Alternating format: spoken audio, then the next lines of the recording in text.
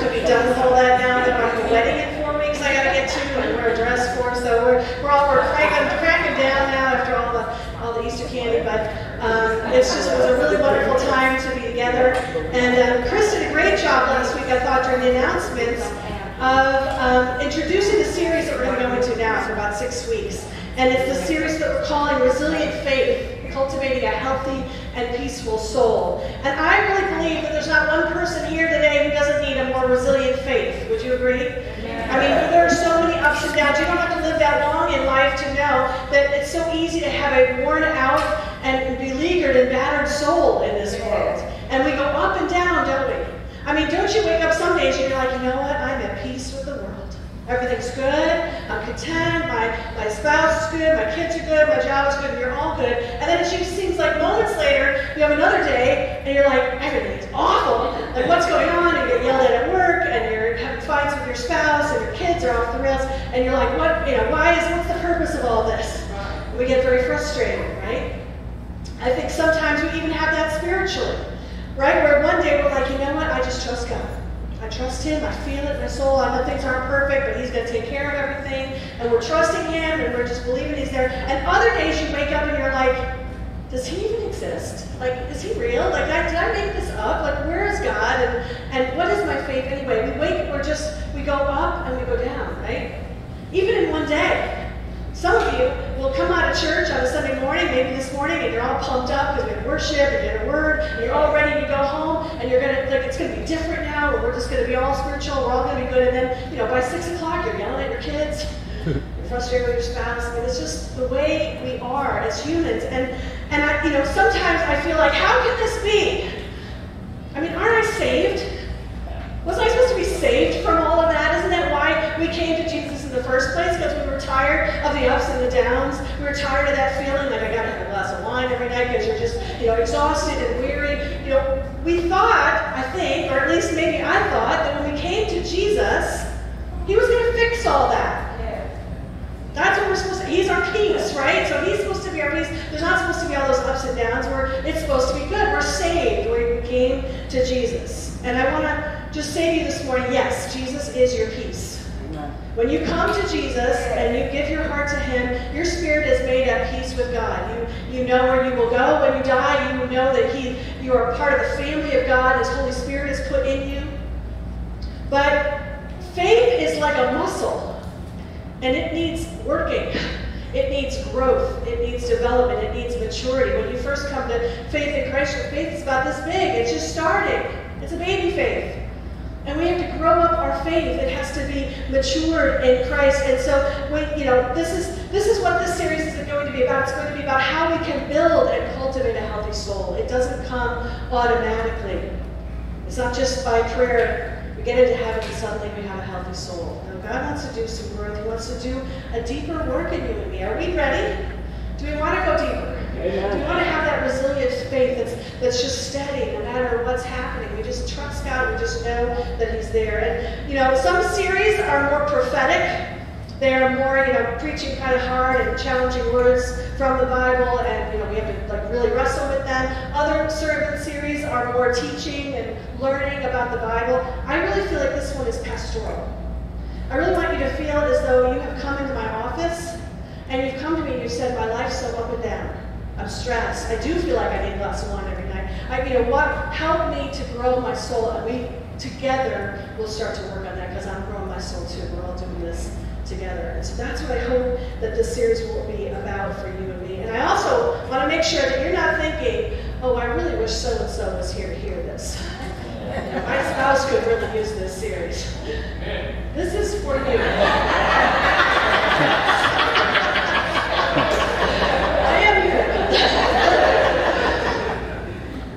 this is for you and for me. It's for both of us. It's all of us. We need to grow in our faith. We need to get deeper with Him. We need to strengthen that muscle. And so we're going to be talking about that. A lot of different topics we'll be covering over there. I'll just give you a kind of a smattering so that you know where we're going for this next six weeks. We're going to talk about making space for Jesus, Sabbath and soul care, knowing the real Jesus. We have to have a biblical grounding so we know who we're actually following. We come to Christ often with many different ideas about who God is. from we got from all kinds of different places. We need to learn who He really is. Inviting Jesus into the hidden places that there's emotional health and healing that God wants to do for us to grow up our souls.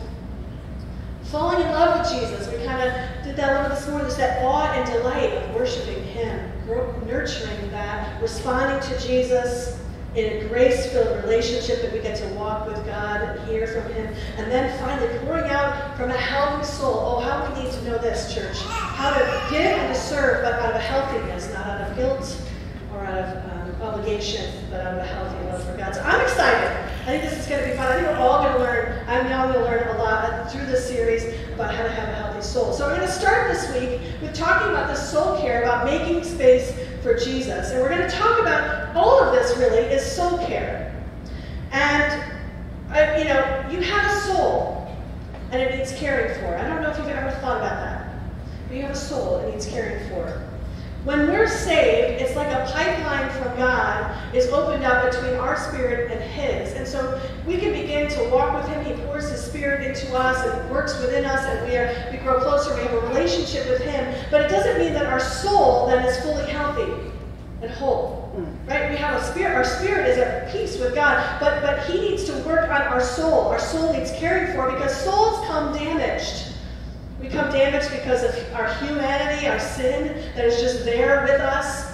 Some of us have additional damage that's heaped upon our soul by our childhoods, by our families, by, by relationships, by betrayals and hardships and traumas that have damaged our soul even further. So our souls need to be healed. And that's something that doesn't happen the minute we're saved. It's something that God can begin. But becoming, becoming to Jesus is like the start of it. It's like the beginning of, of healing a healthy and building a healthy soul. So you may not have thought about your soul before. What is a soul? What am I even talking about? Um, and I did a little research on this.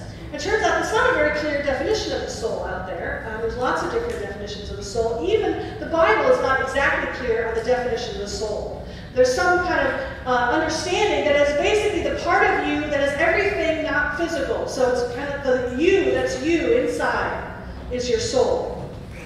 George MacDonald says, You don't have a soul, you are a soul. It's the essence of who you are. You're, you're being, what makes you you. What makes you Charles, what makes you George, it's what makes you you. It's, it, that's your soul. The Hebrew word for soul that's used in the Bible is nephesh, which means the living being that breathes, the person himself, the inner being. It's also the seat of the appetites, emotions, and passions, so that kind of emotional side of you, but it's also the activity of the mind, the will, and the character. So it's kind of like both sides, the feelings and the, the thinking. It's all, again, all of you. The Greek word translating soul is pronounced suhe. We would look at it in English and say psyche. It's obviously where we get psychology from. Good psychology is good soul care. It's taking care of the soul, the whole person, right? And it's also, again, the seat of the feelings, um, desires, affections, aversions. Um, so, so this kind of helps us to see it's, it's everything. Lots and lots of people have weighed in on what the soul is. Dallas Willard gives us a good definition. He says the soul is the life center of human beings. It's kind of the center point of our lives. Or he also says our soul is like an inner stream of water which gives strength, direction, and harmony to every other element of life. Mm. So it's really the integration of all the various parts of you your mind, your body, your your heart, your emotions, your all of that, your will is all your soul. That's all your soul. Let's look into the Bible where it uses the word soul. Kind of interesting. It uses the word soul almost interchangeably with heart and spirit. Not exactly, but they're almost all used together or in pairings. So if we look at Hannah, she's pouring out her soul in 1 Samuel 1. And it says this But Hannah answered, No, my Lord, I'm a woman troubled in spirit. I have drunk neither wine nor strong drink, but I have been pouring out my soul before the Lord. So you can almost reverse the two words and say she's troubled in soul and pouring out her spirit. It's like it's almost it's almost the same meaning of the word, right? It's that, that inner part of her that's troubled. 1 Thessalonians 5.23 says this, Now may the God of peace himself sanctify you completely, and may your whole spirit and soul and body be kept blameless at the coming of our Lord Jesus Christ. Again, the whole of you. Mark 12.30, And you shall love the Lord your God with all your heart, and with all your soul, with all your mind, with all your strength.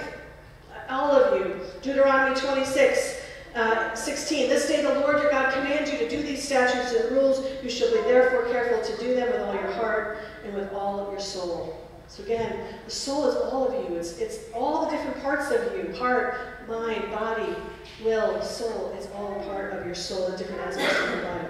And so, you know, I had a pastor who was fond of asking me, he'd come in my office, and he'd say, how's your soul? And what's interesting about that question, and I ask that sometimes, Lisa and I ask that of each other, how's your soul? And it means something different depending on what's going on, right? It could be that your mind is kind of troubled about something. You're thinking through something, not quite sure what to do about something, maybe you have a question about something in the Bible or something in life, and so your mind is troubled, your mind is anxious, and so sometimes dealing with your soul is dealing with your mind. And so that troubles your soul, right? When your mind is troubled, your soul is troubled. But sometimes it could be that your heart is troubled and that you know you have been betrayed, you've been hurt, you're wounded, you're, you're, you're grieving, and so then that is sometimes when we make your soul unhappy and, and unsettled, right? Because you're grieving, because your emotions are hurt. It very much could be that you have a painful or hard decision to make. That you know that you have to do this one thing and it's going to be hard, it's the right thing to do, so there's a struggle in your will. What am I going to do? And that is, that'll affect your soul. Sometimes it's you have pain in your body, and pain will affect your soul. Pain will affect your soul. And even our spiritual life, of course, where when we are out of sorts with God, when we're like, yeah, I'm sinning and I don't care, you know, we just of put Him out here, um, that's going to affect our soul. It's going to damage our soul. In fact, this condition of our soul is often an indicator of how our spirit is doing with God. And so, therefore, soul care is going to have to vary depending on what the situation is, right? You come in and you're troubled in soul, you, when I say, how's your soul? And you say, ah, I'm so upset about this because this and this and this is happening, I'm worried about that, that I'm going to need to let you just vent, right? Just just, just get it all out. You have to process that all in your brain. It's that, that verbal vomit, right? When everybody just needs to like pour it out, you need to get it out, process it. That's soul care. Letting your mind kind of work it all out. But if you come in and you've had a terrible loss and your you know, tears are like in the, in the corners of your eyes, soul care for you is just going to be for me to just give you a hug and say, let's just cry together for a little bit. And let's just let God minister. Right? So our soul care is caring for the whole being. Mind, body, emotions, heart, and spirit. And let me just say this to you this morning. God is deeply interested in your whole person. Oh, he is deeply interested in your whole body, your mind, your soul, your spirit. He is interested and cares about all of it. He cares about you. He cares about your spirit and where you are with Him, but He also cares about your kids and your marriage. He cares about your finances. He cares about your childhood and how you were treated and what wounds you carry from that. He cares about your complete and total whole healing. That's what God cares about for you.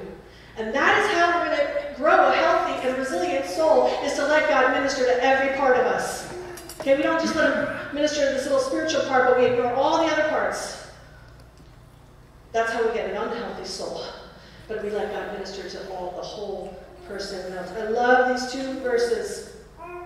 1 Peter 2, 24 to 25. He himself bore our sins in his body on the tree that we might die to sin and live to righteousness. By his wounds you have been healed. We just talked about that on Good Friday, right? That's what he did on the cross, bring a healing. Well, look at what the healing is. For you were straying like sheep, but have now returned to the shepherd and overseer of your souls. He's a shepherd over your soul. He just cares for your soul. That's what he cares about. Matthew 11, 29. Take my yoke upon you and learn from me, for I am gentle and lowly in heart, and you will find rest for your souls. He wants you to have rest. He wants to care for your souls. And when our souls are rested and cared for and healed, all mind, body, soul, and spirit, that's when we have a healthy, resilient faith, a healthy, resilient soul. And so do I, I, I hope you're excited. I want that. I want that for me, I want that for every single one of us. So today, for the rest of my time, I'm going to just talk about one way, one type of soul care. In effect, in effect this whole series is about soul care. But today I'm going to talk about one way, I think it's kind of the foundational way, or one of the best ways to care for your soul, and it's through stopping, silence, and Sabbath. All right, stopping, silence, and Sabbath. And um, I, how do we feel about silence? We're usually kind of uncomfortable with silence. Don't, don't put that up there yet. Please take that down. Yeah, um, so how do you feel about silence? uh, many of us don't know how to be silent. Um, my husband tells a story about when he was in second grade, he went to school, and when he went to school, uh, the teacher said to him, uh, to the class, today's going to be a quiet day and no one's going to talk all day. Now, before I go on with what happened next, I think kudos to that teacher who like figured out like I can't deal with hearing any of these kids anymore all day. So she just declared it a quiet day. I just would love to know like what was going on there. But she declared it a quiet day. No one was allowed to talk all day, and so Paul did it. Little, little second grader Paul, you know, was quiet all day. But then he went home and he had a massive headache and started throwing up on the And so he said for years he assumed that the reason he was so It's bad for your health to be quiet. And, um, you know, I think we do feel that way a little bit like it uh, can't be right. It can't be good for us to be this quiet. You know, that's not good for us. Um, it's, it's uncomfortable. We want to fill up the space. My brother-in-law's a Quaker, and uh, he and my sister will often go to Quaker meeting. And if you know anything about Quakers, you go into a meeting house like this where there's no preacher, no music, no nothing. It's just silent for an hour. And if anyone feels moved by the Spirit, they can get up and speak. But um, sometimes no one does. Literally no one. And so it's a full hour of silence. And uh, my sister talks about that. She, you know, she obviously didn't grow up with it because she grew up like me without any faith. But um, she said, like at first it was hard because like an hour of silence is hard. Um, but she's loved. But then she kind of got into it. She kind of loves it because she feels like her mind just gets clear and she just, you know. And, um, and she said now when she's out in some event and someone says, "Let's have a moment of silence." And we, well, what do we do? Like three seconds of silence, and then we had a moment of silence, and she's like, "Are we done yet?" Like that's all. Like she, she's so used to just that long period of silence. And it's interesting that that's the heritage of the vineyard. We came from uh, John Wimber was part of a Quaker fellowship before he, you know, became part of the vineyard. And that's kind of where he got this whole idea of us listening to the Holy Spirit, of stopping and listening. What makes us think we can have a word from the Lord? A word of knowledge? A word of prophecy? What makes us think we can have any of that? If we can't get silent, just listen. So we, we, we miss out on that, I think. I think this is the fact that this is hard for us and so um, not common in our society is one of our ills as a society. I think it is a problem that we don't know how to be silent. And, and when you learn to be silent and still with the Lord, God begins to build and form a deep, healthy soul. Because there's a stillness that comes upon us, there's a rest, there's a listening that comes upon us. And maybe you know people like that who are just peaceful in the midst of everything going crazy around them, but they are a steady soul. That's, that's, that's a healthy soul. So here's a fun little quiz. Now you can put up that quiz. Um, I want you to ask yourself, I won't ask you to call it out, but uh, how many yeses do you have to this quiz. All right, just count them up. Are you constantly checking your technology? I'll say at least once every 10 or 15 minutes. Are you checking it all day long? If so, just in your mind, tally up yes. Do you have a hard time sitting still and just relaxing and you feel either guilty or antsy? Some of us feel guilty we're quiet and stop, and some of us feel antsy. Do you find you constantly want to have music playing, the TV on, or people around you? Do you have an afternoon free with no plans with anyone? If you have an afternoon free with no plans, do you feel anxious about what you're going to do? Is your calendar completely full for the next month? And most telling you, well, can you not remember the last time you were alone? Now, I'm not going to ask you. Anybody else? I won't ask you to raise your hands, but it's a little telling, isn't it? How many get checked off. How many yeses we may have to this. It's because we, we, we need to grow our souls in quietness and silence and being apart from others, right? So Jesus gave us an example. So let's look at a little bit of Jesus. He gave us an example of this, of being quiet, of, of coming away, of being silent before God. Um, I want to skip the, the scripture and go to um, Matthew 14. Jesus says, watch how I do it. Here's how I do it. Do what I do. So he says this, Matthew 14, 23. He went up on a mountainside by himself to pray. He was there alone. This was after, after feeding the 5,000 and right before walking on water. So in between, he went away by himself with the Lord. Luke 6, 12. Jesus went out on a mountainside to pray and spent the night praying to God. before choosing the 12 apostles. He did that. Uh, Matthew 14, Jesus withdrew by boat privately to a solitary place. This is right after he heard John the Baptist was beheaded. And Luke 5, 16, but Jesus often withdrew to lonely places and prayed, and that was when the, the crowds would follow him. Isn't that interesting that Jesus did this? That he felt, you know, he's God, but he was also human, and he knew how the human body is meant to function, and that it needs rest, and it needs time alone, and it needs time with the Father. And he knew this was what it meant, and that is what it would have meant for him to be healthy. He had to take care of his own body, and so he did this as well. Um, I'm, I'm struck by the fact that he did this after he often after ministry. So he would do a big thing with the crowds. In fact, the, the staff and I looked at this passage from uh, Matthew, which if you string it together, first what happens is John the Baptist dies, and then he goes off to a solitary place. So John Baptist was his cousin, so he was you know, he needed to grieve with his father, right? So he went off to a solitary place. Then he comes back to the crowds, feeds the 5,000, huge day of ministry. Then he dismisses everybody, goes off again by himself to a solitary place. Then he walks on water and has time with his disciples. So just with his like close people that you know, and he's ministering to just them, and then they go out of there and he ministers to the crowds again. So this incredible rhythm of of ministry and work and then rest, and then work and then rest. And I've got I'm, I'm, grieving over something, so I need rest. Constant coming of faith. I love that. That's a healthy, healthy rhythm for work and for ministry. It's true for us whether we're in ministry or we're working in the workplace. We need those that rhythm, that break. I gave the staff Monday off after Easter because they had been working like mad, of course, to make Good Friday and the Easter a beautiful experience for everyone. A lot of ministry goes into that whole Easter week. But we needed to take off. We needed to just stop and go away and get refilled. And then you're ready to give out again. It's not like you stop giving out and give out again after you've been refreshed. Nobody can keep going and going. And I just want to say this because I know some of you here, are, you know, if I said to you, how you doing? You'd be like, busy, so busy. In fact, if you ask me, I'm going to say the same thing. So this is this sermon, by the way, is all for me uh, as well because I have a hard time with this. I have a hard time with Sabbath. I have a hard time with stopping. My friends over here is like, yeah, you know, I'm going to admit that this is you too because it is. I have a hard time with stopping. But um, we can't keep going and going and going, whether we are ministering or a pastor or a volunteer, whether you work in a workplace, in a business, whether you do manual labor, what, if you're watching children, you cannot keep doing it over and over and over and over again. You'll burn out, you'll dry out, you'll need that glass of wine at the end of the day because it's too much. We need that soul care, we need that break. So I said stopping, silence, and Sabbath. I want to talk just for a minute about Sabbath because we sometimes have a hard time with Sabbath as well.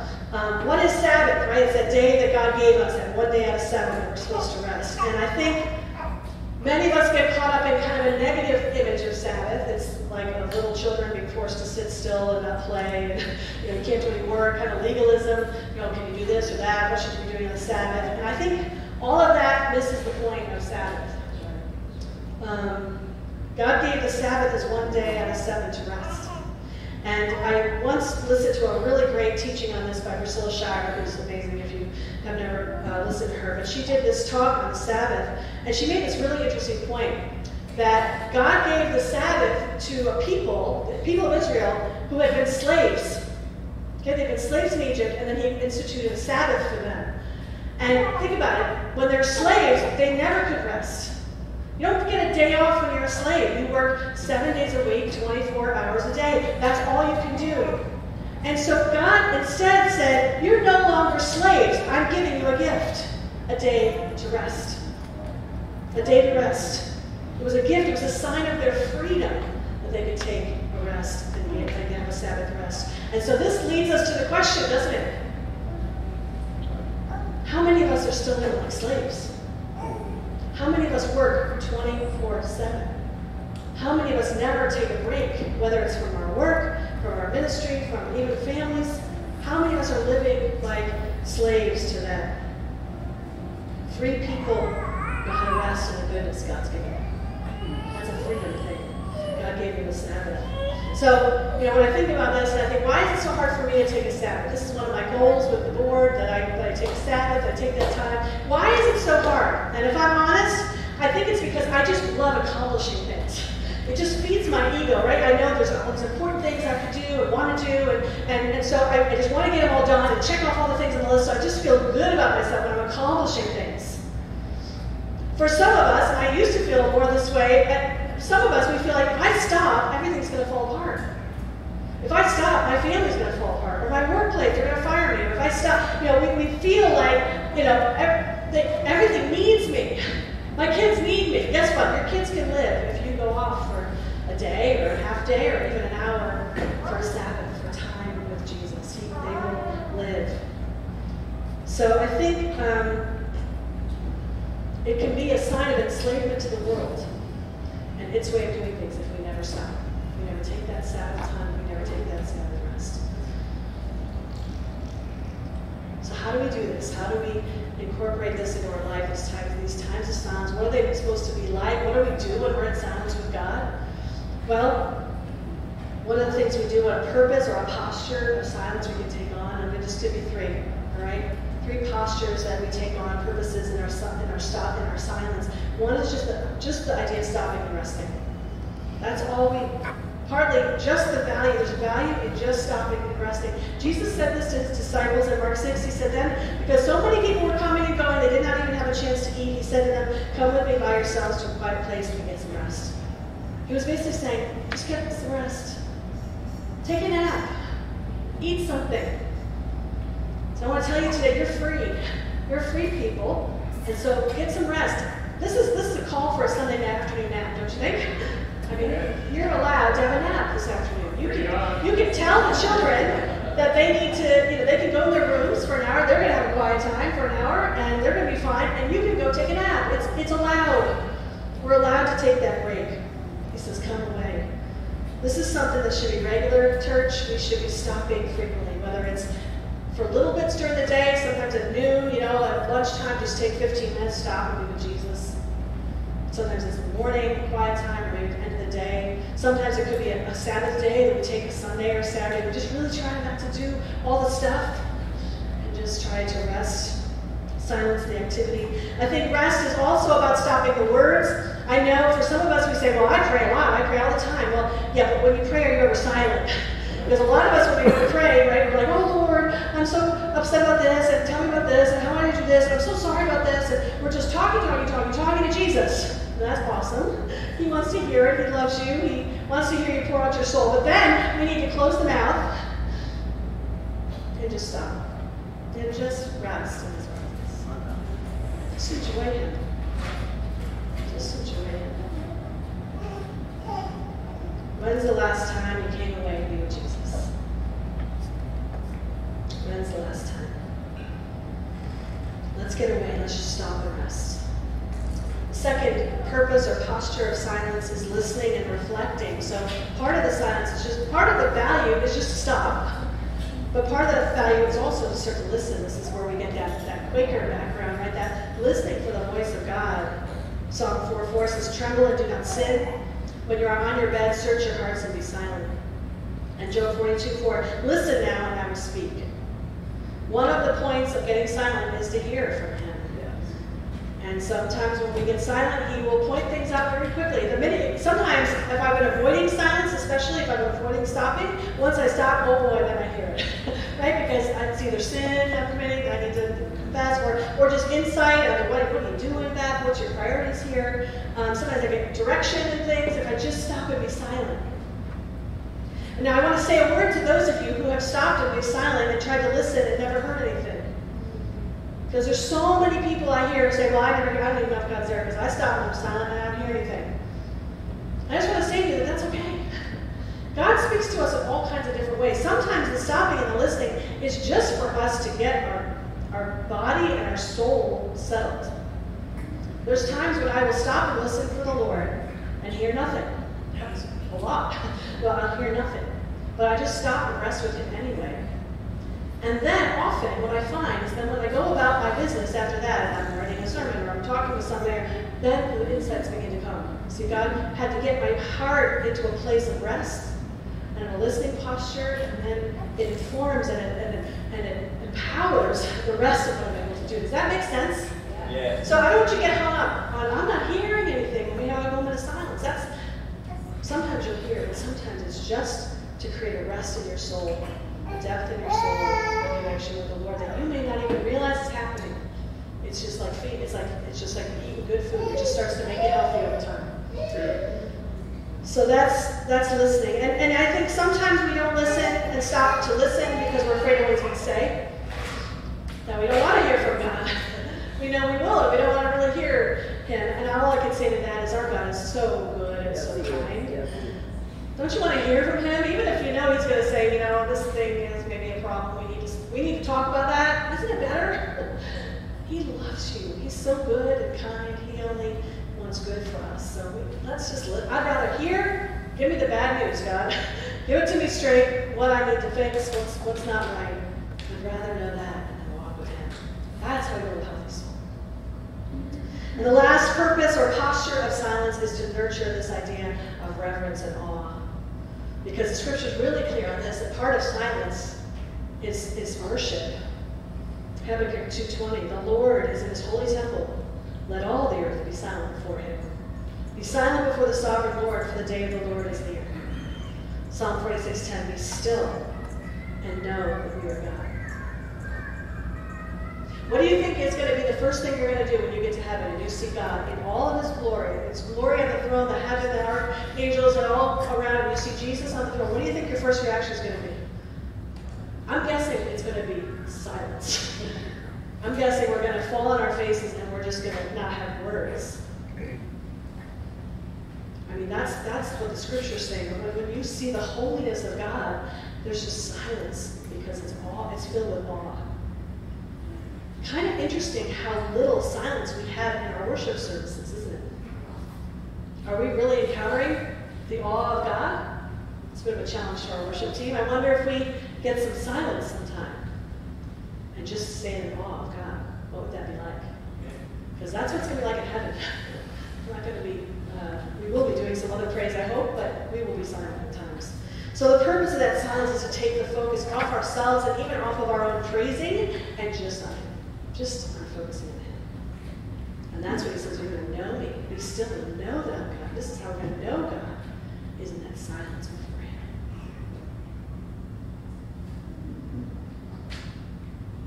Jewish people say Shabbat Shalom on Sabbath day. Shabbat, of course, a word for Sabbath, means to dwell, to dwell, type of dwelling. And, and shalom, of course, is peace, right? It's that, that peace of God, that peace, that holistic peace. Um, and so Shabbat Shalom is essentially praying, and it's a wish that you could have a peaceful dwelling with God on your Sabbath day. It would be a peaceful day, dwelling with God. And I believe that when we establish these rhythms of silence and of stopping and of Sabbath in our life, we're going to have that peaceful shalom. We're going to have that Shabbat shalom, peace. It's to, that's how we grow a healthy soul. Hebrews 4.10, last scripture of the morning. Hebrews 4, 4, 9 through 11, actually. There remains then a Sabbath rest for the people of God. For anyone who enters God's rest also rests from their works, just as God did from his. Let us therefore make every effort to enter that rest.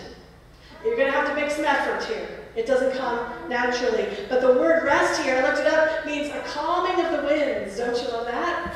Who needs a calming of the winds this morning? I think we all need a calming of the winds, a rest.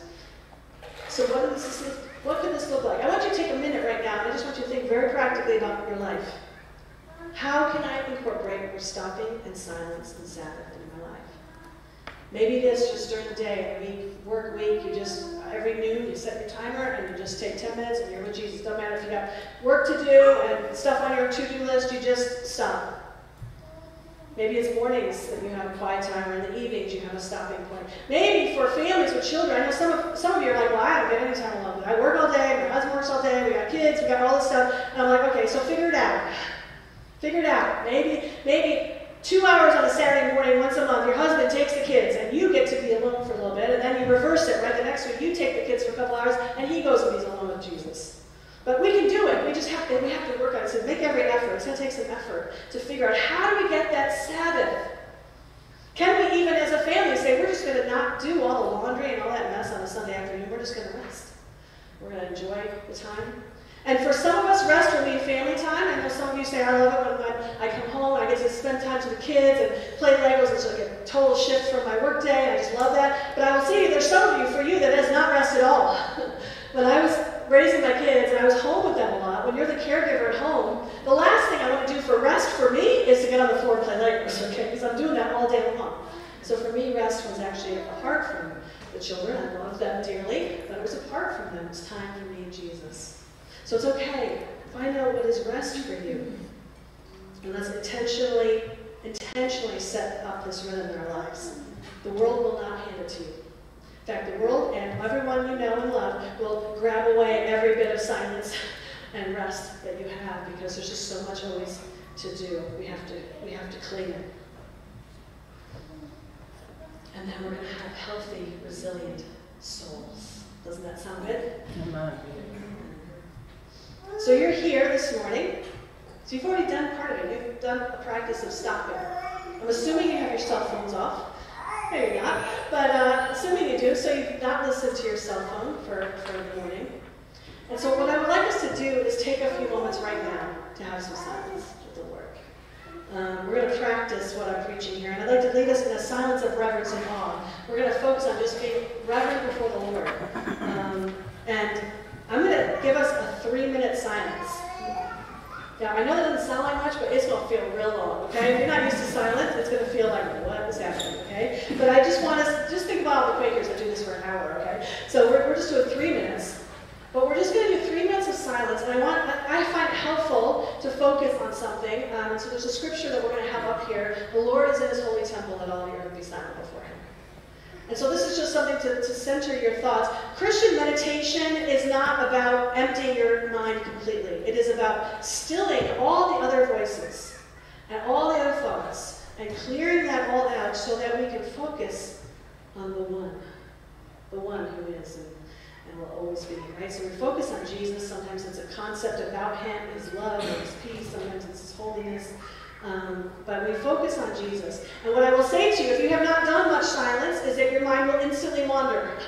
Before, before 30 seconds are up, you'll be thinking about like, what are you going to have for lunch? And you know, where are you going after this? And who's sitting next to you to talk to? And all that stuff. And don't feel bad if that happens, okay? Don't beat yourself up. I'm terrible at this. No, it's fine. Just say, okay, I just wandered. Let's just put that aside and go back. Focus.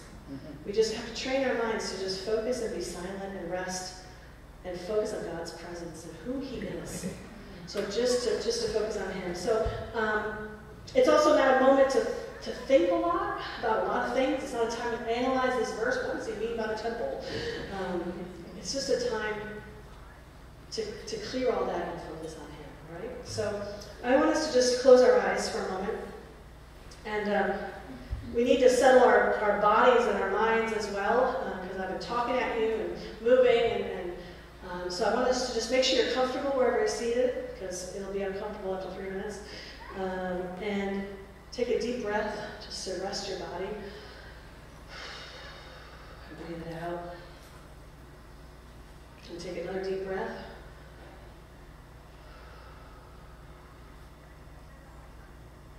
And now let's just focus on Jesus. Let's just be silent. Let's listen and be at rest.